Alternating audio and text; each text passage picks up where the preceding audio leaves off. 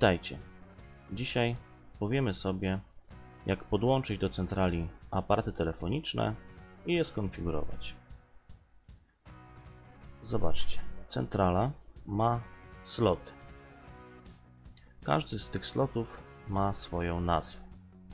Pierwszy slot, opatrzony nazwą IPM2CO2AB, jest to slot, w którym posiadamy dwie translacje, czyli no, łącza, dzięki którymi możemy podłączyć się e, z centralą nadrzędną oraz łącza, do których możemy podłączyć dwa e, telefony analogowe. Drugi slot, który posiadamy, slot IPM1ST, jest to slot, dzięki któremu możemy podłączyć się, podłączyć do centrali telefon ISDN. I ostatni ze slotów, który posiadamy tutaj na tej centrali, prezentowany, to IPM2CTS, czyli możemy sobie podłączyć tutaj dwa telefony CTS, czyli dwa telefony systemowe. Palmy configmana. Dobrze, teraz przejdziemy tutaj do centrali, centrala karta. Możemy sprawdzić sobie to nasze wyposażenie, do któremu wcześniej zrobiłem zdjęcie. No i zobaczmy sobie, co mamy na poszczególnych slotach. A więc tak, na slocie pierwszym mamy dwie linie miejskie, dwie translacje oraz dwóch abonentów.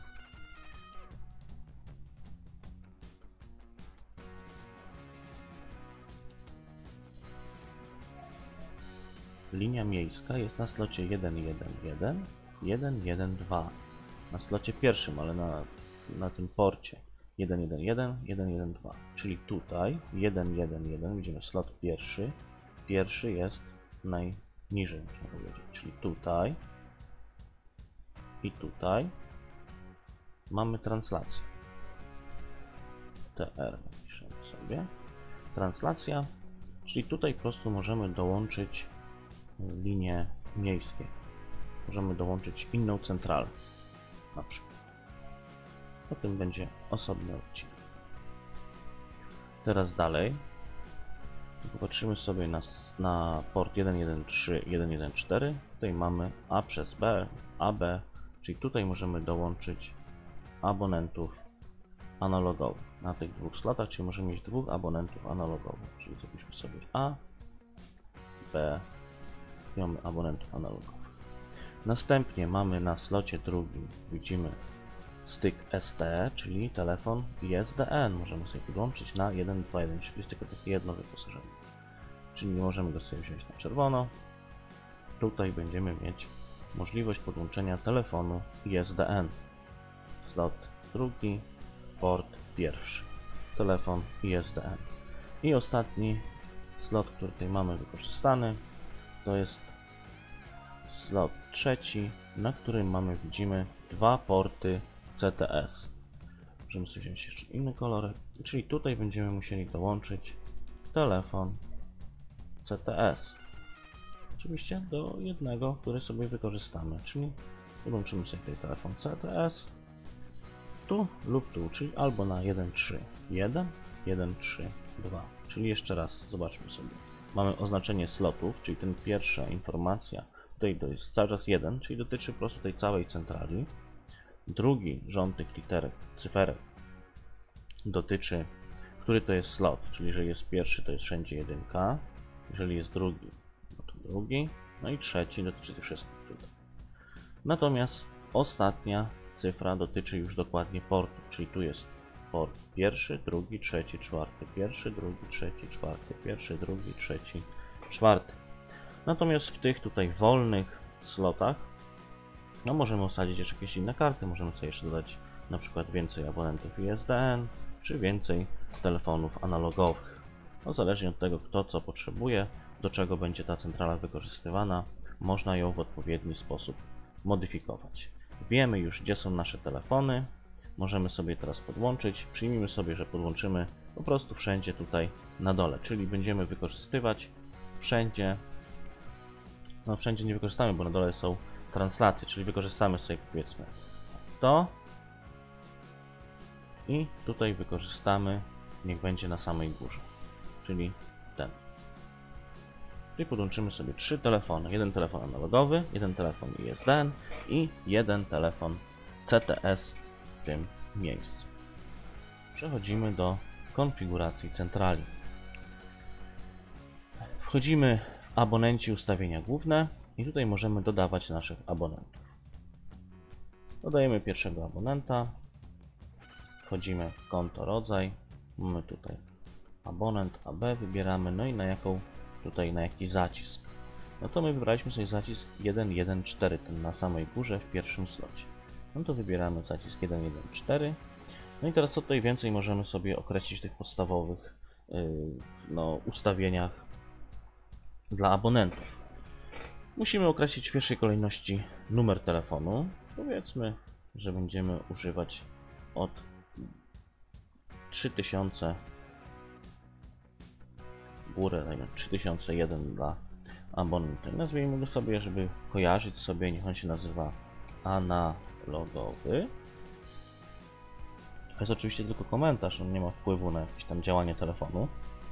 No już możemy sobie opisać tą notatkę serwisową tego e, zacisku w jakiś sposób, na przykład on jest powiedzmy, że on jest, nie wiem, pokój 18, że jest tam dane, ale tak, żeby jakoś kojarzyć z czymś yy, tą, ten, ten telefon. Mamy więcej możliwości po prostu, czyli wiemy, że on ma taki numer.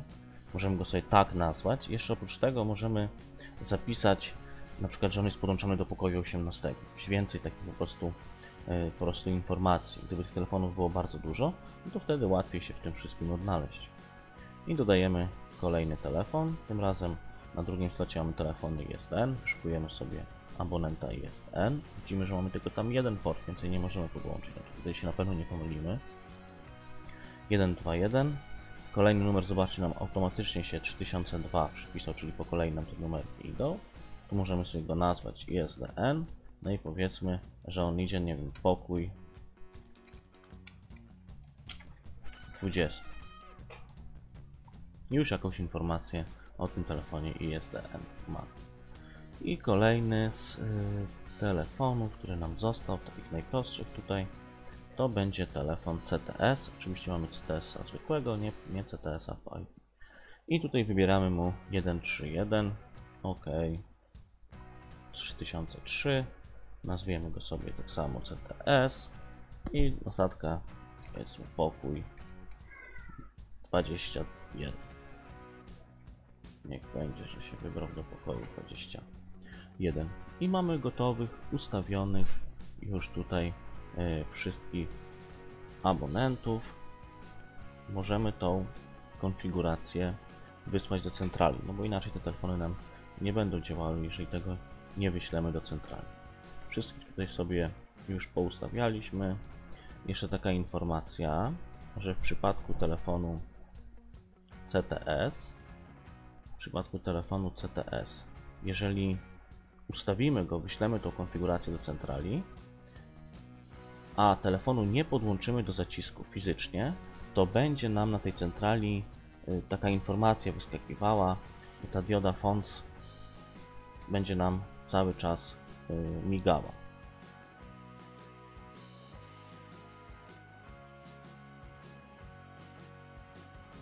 No dobrze, wyślijmy tą konfigurację do centrali.